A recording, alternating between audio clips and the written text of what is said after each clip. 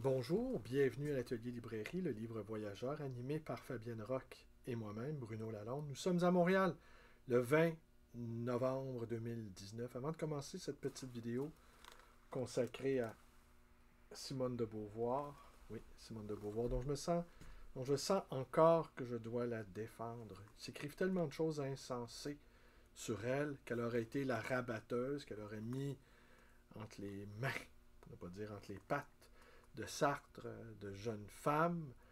Euh, c'est toute une question.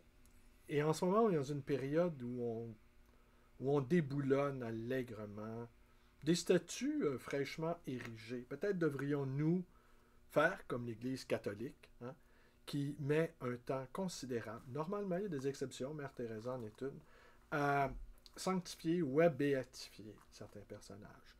Alors, ce, ce, déboulonnage-là de, de Simone de Beauvoir est une façon aussi de ne plus lire. Là, on se prépare aux États-Unis à retirer les œuvres de Paul Gauguin, les, retirer des musées, parce que Paul Gauguin a eu des relations euh, sexuelles, peut-être amoureuses même, avec des adolescentes en Polynésie. Alors, ce, les censeurs, ils sont partout. C'est incroyable. Est-ce que de ça va déboucher une lumière qui sera tellement aveuglante, hein? après la grande noirceur, euh, la grande clarté qui aveugle, mais du type de clarté que l'on... Clarté d'interrogatoire, des braques. On braque des projecteurs sur nous, il faut qu'on avoue. Alors ce genre de clarté-là artificielle, euh, cette clarté arrachée sous la menace, clarté arrachée sous la contrainte. En sommes-nous là? Devrions nous, nous, nous nous approchons de l'ultra-transparence. Hein. Alors pourquoi, pourquoi bon, Simone de Beauvoir est l'objet de tant de détestation? Ben, c'est parce qu'elle a écrit des livres qui sont hyper importants, que moi je place à côté de Freud et à côté de Marx. Le deuxième sexe et la vieillesse. Son ouvrage La vieillesse, où elle était où elle a été une pionnière. Le livre a été publié au début des années 70 et Simone de Beauvoir avait largement dépassé la cinquantaine quand elle a entrepris cet, énorme ouvrage qui est magnifiquement écrit aussi, avec des confessions personnelles éparses ici et là, qui ajoutent beaucoup de valeur au document. Mais avant d'entreprendre la lecture, qui va peut-être être longue, je tiens à remercier Ray Ray, qui m'a euh, gratifié d'un commentaire extrêmement généreux sur ma plateforme YouTube. Et je, je, qu'il en soit ici remercié le plus chaleureusement possible. Hier soir, euh, je l'ai relu à quelques reprises. J'étais ému, j'étais touché. Oui, je vais, je vais finir par me, me mettre à écrire pour de bon quand j'aurai épuisé euh, parce que je ne crois pas qu'on écrit volontairement. Je crois qu'on écrit mu par la nécessité. Et je crois qu'on écrit aussi par la nécessité intérieure, mais par une voix qui nous porte, comme une sorte de dictée. Comment en arriver à cet état-là d'écriture, ça c'est une autre histoire. Mais je pense m'y approcher. Je pense m'y approcher. Beaucoup, beaucoup de choses ont, ont, ont brûlé en moi. Beaucoup de choses ont, disparu, beaucoup de, contraintes, beaucoup de, difficultés à exister ont, cessé de me tenailler. Beaucoup d'épreuves ont été vaincues. Et que là, peut-être, je vais m'asseoir et je vais laisser le texte s'écrire. Voilà. Mais euh, Ray Ray, merci beaucoup. Merci infiniment. Sur la question féminine. Alors, c'est tiré, oui, de les mémoires. Mémoires que, je pense, la 7 ou 8e fois que je les lis. J'y retourne régulièrement depuis euh, mes 18 ans. J'y retourne régulièrement pour voir où j'en suis avec ma propre vie. Ça, je l'ai déjà dit, je vais le répéter. C'est pour moi l'auteur qui a le plus compté dans mon développement intellectuel. Par sa volonté farouche de vivre alors maintenant qu'on fouille dans sa vie privée pour euh, ne plus la lire, mais là c'est ce qui va se passer. Hein. On va fouiller dans toutes les vies privées pour ne plus avoir accès aux œuvres. Pour ne plus regarder les tableaux, pour ne plus écouter la musique, pour ne plus recevoir les fruits de la culture. Sur la question féminine, avant de l'étudier systématiquement, j'avais lu un grand nombre d'ouvrages. J'avais une assez vaste expérience et j'ai tout de suite trouvé des documents en abondance. Quand j'ai abordé le problème de la vieillesse, j'avais les mains vides. Je suis descendu dans la salle des catalogues de la Bibliothèque nationale. J'ai consulté les plus récentes fiches groupées sous la rubrique Vieillesse. Je suis d'abord tombé sur les essais d'Emerson et de Farguet, puis sur des ouvrages plus sérieux qui m'ont fourni une bibliographie sommaire. De proche en proche, elle s'est enrichie. J'ai lu à peu près tous les traités et les revues de gérontologie parues en France dans ces dernières années. J'ai fait venir de Chicago trois énormes sommes que les Américains ont consacrées à cette discipline. Au cours de cette exploration, le livre s'est construit dans ma tête, et j'en ai rédigé plus ou moins de difficultés les différents chapitres, avec plus ou moins de difficultés les différents chapitres. Certains critiques ont défini la vieillesse comme un livre de seconde main. C'est tout à fait injuste. Un livre de seconde main, c'est celui qui se borne à compiler des ouvrages consacrés au sujet traité. C'est le cas de mon premier chapitre. Sur la biologie, j'ai pris connaissance d'études que je me suis presque borné à résumer. Mais dans tout le reste du livre, j'ai fait un travail original. Bien sûr, j'ai utilisé des livres et des, et des documents. Il ne s'agissait pas d'une œuvre d'imagination, mais il a d'abord fallu les trouver, inventer la manière de les exploiter et réaliser des synthèses neuves. Sur la vieillesse dans les sociétés primitives, il existe un livre, mais je ne trouve pas du tout satisfaisant. Je m'en suis à peine servi. J'ai utilisé, là on est renvoyé aux notes de la page, euh, oui, des notes en bas de page de la Pléiade. J'ai utilisé l'admirable instrument de travail que Claude Lévi-Strauss a obligeamment mis à ma disposition, le laboratoire d'anthropologie comparée qu'abrite le Collège de France. Ses collaborateurs m'ont indiqué, dans diverses monographies, des passages traitant de la condition des vieillards. J'ai lu chacun de ces ouvrages essayant d'établir le rapport de cette condition avec la civilisation décrite. L'analyse de ces matériaux, les réflexions qu'ils m'inspiraient, les conclusions que j'en tirais, personne n'avait fait ce travail avant moi.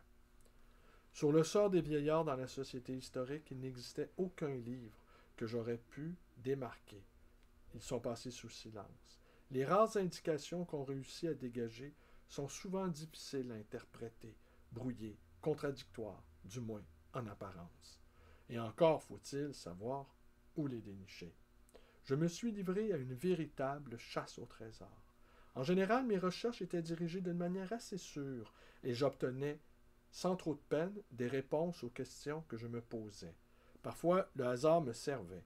Je tombais de manière imprévue sur une mine d'or.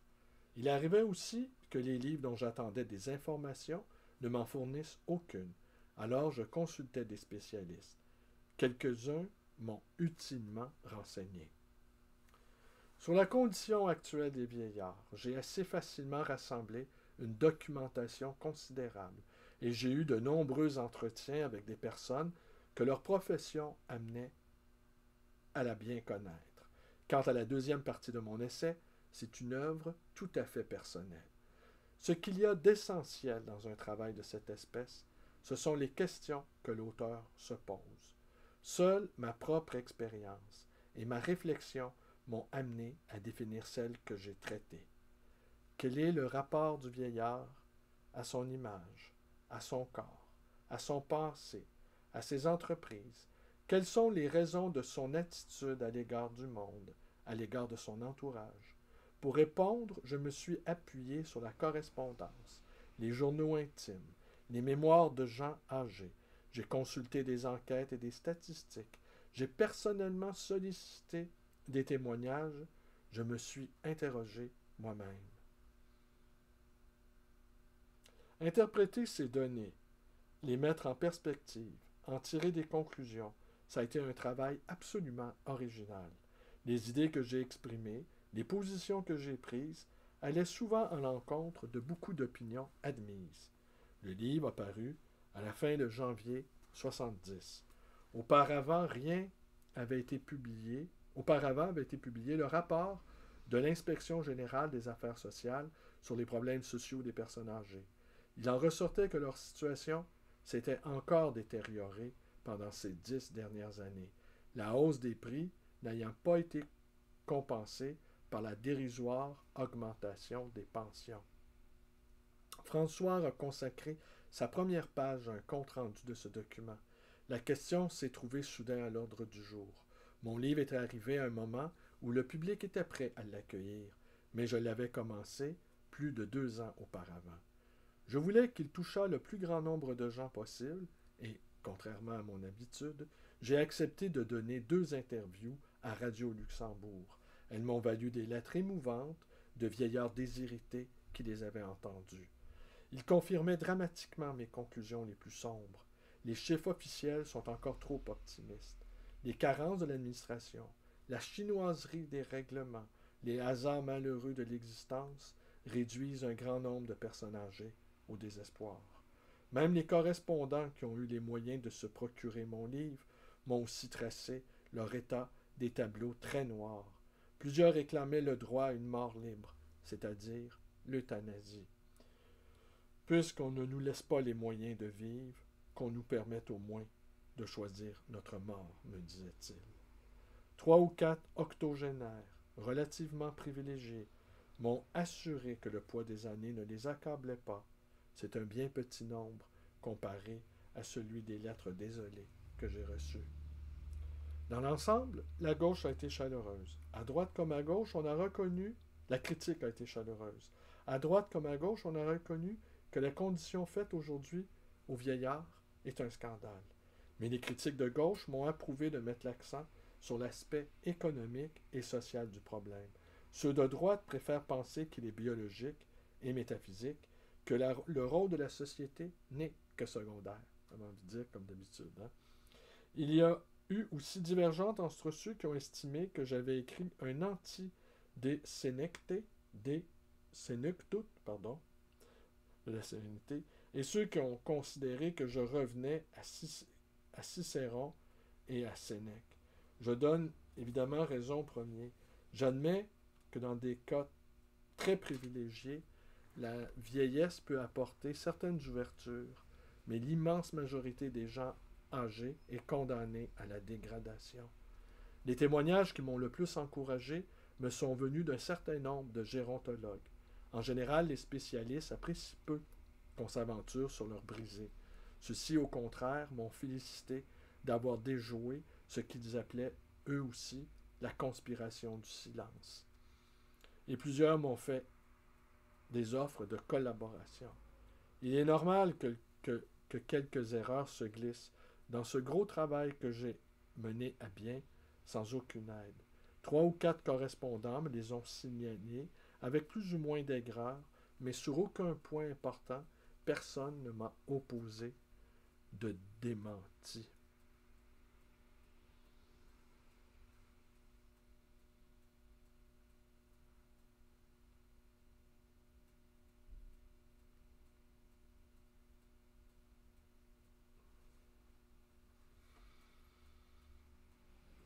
Et là, elle poursuit plus loin dans un paragraphe plus loin. Mais mon rapport à l'écriture est plus ambivalent qu'autrefois. Elle me demeure nécessaire, mais il me plaît parfois de m'en dispenser. Pendant mes séjours à Rome, par exemple, où j'aurais pourtant tout le loisir de travailler, je n'ai jamais pu écrire que, dans l'angoisse ou dans la joie, j'étais happé par les événements ah non, pardon. Je n'ai jamais pu écrire quand, dans l'angoisse ou dans la joie, j'étais happé par les événements. Maintenant, même disponible, il m'arrive de me donner des vacances. Cependant, à la longue, la paresse m'ennuie. Mes journées me paraissent fades. Je ne me sens plus chargé de mission, et je sais qu'aucun de mes livres futurs ne transfigurera l'ensemble de mon œuvre. Ce sera la même œuvre, avec un tome de plus. J'éprouve pour mon compte ce que j'ai dit dans la vieillesse. Même le progrès a dans le dernier âge quelque chose de décevant. On avance, soit, mais en piétinant, et sans espoir de beaucoup dépasser ce qu'on a déjà fait. Je garde néanmoins le désir de continuer à dire le monde et ma vie. Je ne voudrais pas renoncer à cette impression exaltante que me donne encore par moments la littérature. En créant un livre, me créer moi-même dans la dimension de l'imaginaire.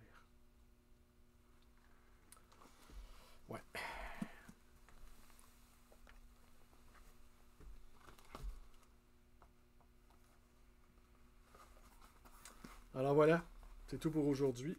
C'est tout pour aujourd'hui. Euh, J'aurais eu envie encore de vous euh, de vous parler de cette atmosphère de non pas de censure, mais de, péril qui pèse lourdement sur, euh, sur la parole. Ouais. Mon jeune ami dit Ouais, ben c'est quand. Non, sans doute je vais arrêter là. Mon jeune ami dit Ouais, quand tu dis que c'est terminé, c'est là que ça commence, au fond. Ouais. L'Église catholique, finalement, a plus de prudence que nous dans l'habitude de sanctifier, l'habitude de béatifier. Nous, euh, je dirais, on a l'habitude, on est en train d'acquérir l'habitude. Quel mot je pourrais faire, quelle sorte de jeu de mots je pourrais faire avec nous transformer en bête B, B, bête, béatifié. En fait, on nous transforme en bête, n'est-ce pas? Nous sommes, sommes pas béats, nous sommes abétis. Ça se dit ça? Peut-être pas. C'est plus de l'abrutissement. C'est un stade qui va plus loin que l'abrutissement. L'abrutissement, nous y étions déjà avec les, avec les téléséries, avec les ordis partout. Mais devenir des bêtes. Hein, le devenir animal, aurait dit, aurait dit Deleuze. Cette chose-là qui nous intéresse, que le confort. Hmm. Écoutez, je pense vraiment que je vais arrêter pour aujourd'hui. Hier, j'ai passé deux jours à faire ma comptabilité. Ah, quel exercice ennuyeux. Par moments un peu décevant, je vous cacherai pas. Alors moi, j'ai pas, j'ai pas le bonheur d'avoir une œuvre comme Simone de Beauvoir. Alors, euh, quand je vais m'y mettre, Ray Ray, pour mes récits, eh ben, je sais que eh ben, il y aura quelques tomes, sans doute, et j'aurai pas l'occasion, euh, n'aurais pas eu l'occasion de faire une œuvre. Mais euh, j'aurais donné un sens à ma vie, et ça, c'est pas rien. Et ça, donner un sens à sa vie, ça nous, est offert à tout moment. Voilà. Alors c'est tout. Je vous remercie d'être avec moi. Vous connaissez la suite. Vous pouvez vous abonner à ma chaîne. Vous pouvez également me rendre visite à, l'atelier librairie, le Libre Voyageur, dans le quartier Villeray, à Montréal. Merci. Bonne journée à tous.